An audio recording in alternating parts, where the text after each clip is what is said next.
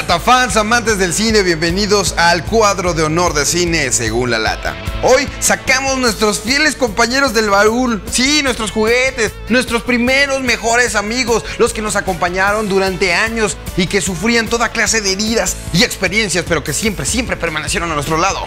Les hablo, sí, de los juguetes. Los juguetes que cobran vida, ese es un tema que varios cineastas han aplicado dándole enfoques de todo tipo como comedia, terror, nostalgia, moralejas y aventura. Así que ya se la saben, del 5 a 1 las películas que hemos elegido para ti y damos tributo a las cintas donde uno o más muñecos cobran vida. Número 5. Small Soldiers. Small Soldiers o Pequeños Guerreros es la historia de dos grandes grupos de juguetes. Por un lado, una especie de grupo eh, de héroes militares que fungen como los malos de la historia. Y por otro lado, unas criaturas conocidas como los Gorgonitas, que son una raza de juguetes que pretenden ser libres y encontrar su lugar en esta tierra.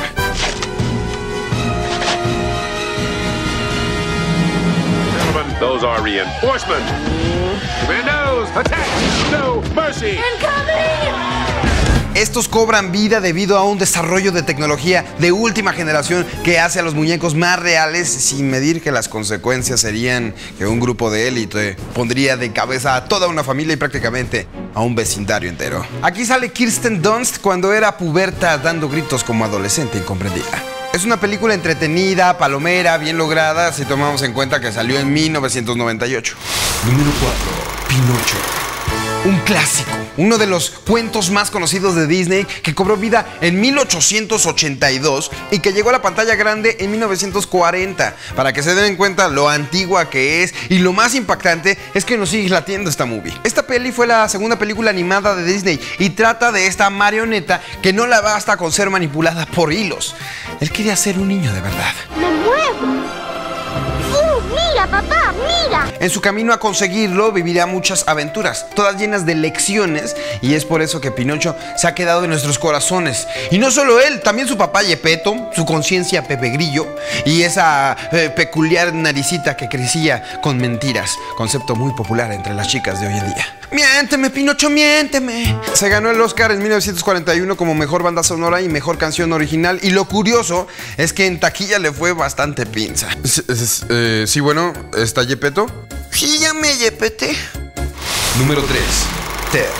Ted apenas tiene unos días de estrenada, pero el impacto ha sido tal que ya consiguió un lugar en este conteo.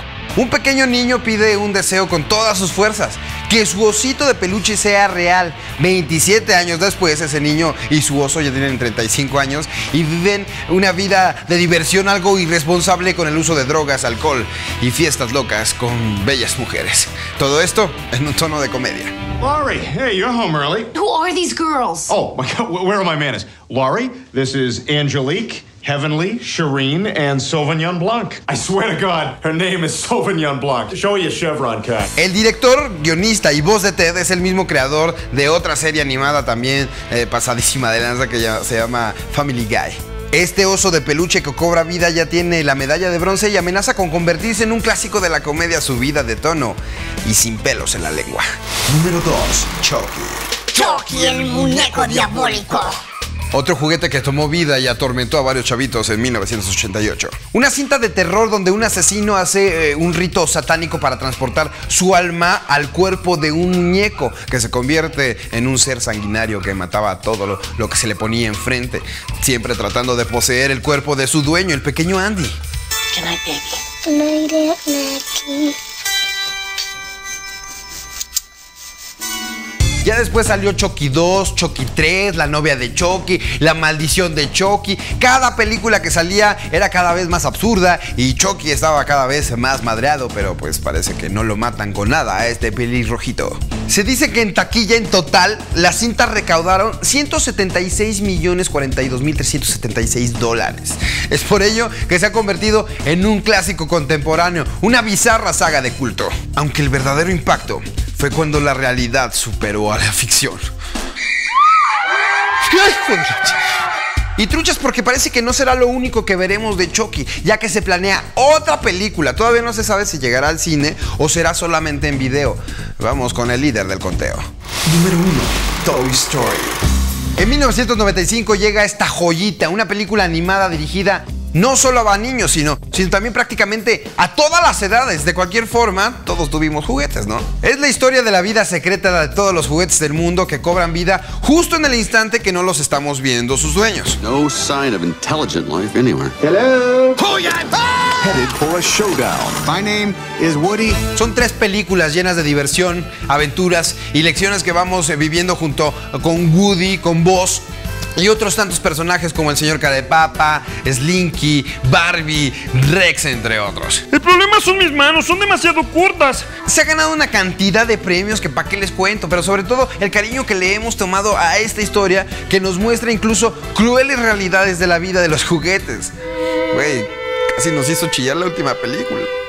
Estos brothers también han hecho una fortuna, no solo con las películas, también vendiendo su mercancía como pan caliente. Por eso, y muchas cosas más, son el primer lugar de nuestro conteo. Así nos pusimos nosotros, pero queremos saber cuál es tu favorita, cuál es la que más te lata a ti. Así que te invito a que entres al Facebook oficial de la data. Acá abajo en la descripción te dejo la liga, le das clic y vas a encontrar una encuesta para que tú votes por tu película favorita de juguetes que cobran vida. Ya de pasadita también te digo que te suscribas dándole clic en este botoncito porque así luego te enteras cuando hemos publicado un nuevo video, un nuevo top 5, escenas de película, los estrenos, las entrevistas exclusivas que tenemos para ti, siempre hablando de cine entre cuates.